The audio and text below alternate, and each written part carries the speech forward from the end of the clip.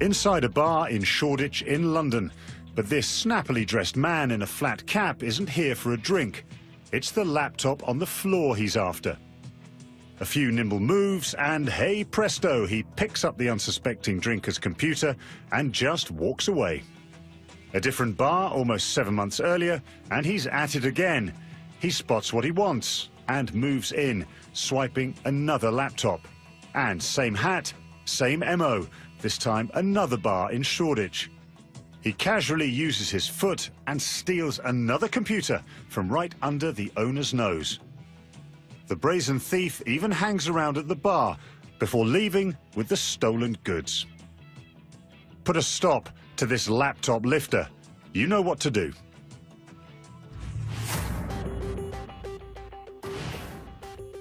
Now, listen carefully to this one.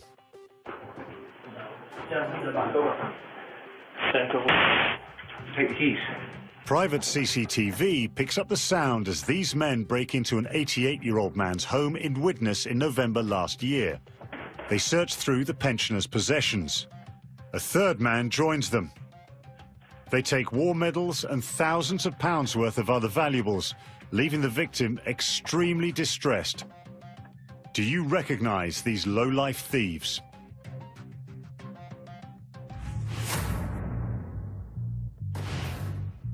November again and still in Cheshire, but this time inside a building society in Runcorn. This man pulls out a gun and points it at a terrified worker. Demanding money, he then moves to the next cashier, and then the next, stashing more cash than he can carry. He then walks out, calm as you like, with £6,000 of loot. It's hard to see his face, but someone knows who this gun-wielding bank robber is. Name, please.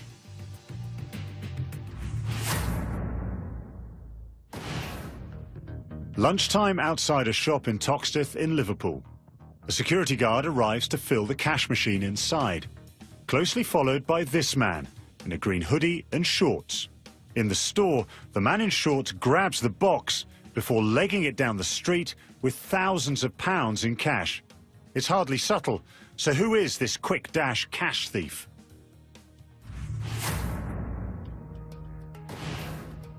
Another shop, this time a jeweller's in St Ives in Cornwall. This man isn't hanging around for opening though. After smashing his way in, he picks up a rubbish bin and heads behind the counter. He forces open a cabinet and fills the bin with expensive jewellery. He then leaves the shop with his haul, worth £30,000. Recognise him? Swap his bracelets for handcuffs and shop him. Finally, we have this fella, out shopping on a Wednesday afternoon in September. He's after some high-end jewellery. The only problem is, he doesn't want to pay for it. He asks the assistant if he can look at two expensive watches from the window display, before sitting down to try the first one on. Then the second. No prizes for guessing what happens next. A quick glance at the exit, and he sprints out of the shop, still wearing the two watches, worth over £2,000 each. Call time on this crime watch thief and name him tonight. CCTV of a shocking attack on a woman in South London. This footage shows the moment the woman was punched several times in the attack in Hanover Park in Lewisham on Friday, the 4th of December. She was left unconscious on the pavement as the attacker ran off. Now, detectives believe it's linked to two other violent attacks on lone women in the Lewisham area in December and January. In this CCTV, a woman is followed home at Creekside at around around 5 a.m. on New Year's Day. Just out of sight of the cameras, she's grabbed and punched unconscious. In the third attack on Friday, the 4th of December, another woman was grabbed and punched in the head several times in Commercial Way. Now, police would like to speak to this man in connection with their inquiries. If you can help, please, please, please do get in touch with us using the numbers on the screen. Police are offering a £20,000 reward in connection with the case. Well, also in London, the Met Police want your help in tracking down a group responsible for a large-scale disturbance on the 31st of October last year. Police came under attack when they tried to break up an illegal Halloween rave on Lambeth High Street. 23 officers were injured, as was a police dog, as the disturbance spread over the surrounding streets, continuing into the early hours. Well, joining me now is Commander B.J. Harrington from the Met. Commander, a very good evening to you. These are pretty ugly scenes. I mean, this was some of the most serious public disorder we've seen in, in some years.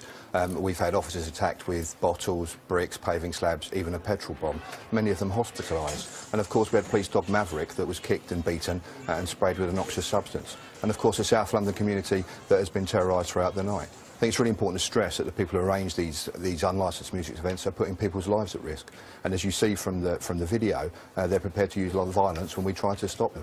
So, Commander, a pretty big disturbance. What is the latest? You've made 73 arrests. No doubt you're looking to make more tonight.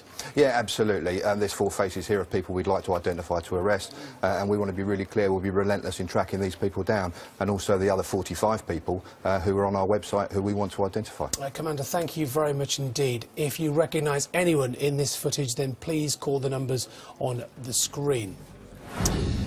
Now, check out this incredible CCTV of a bungling burglar who knocks himself out after falling through a garage roof in South Wales.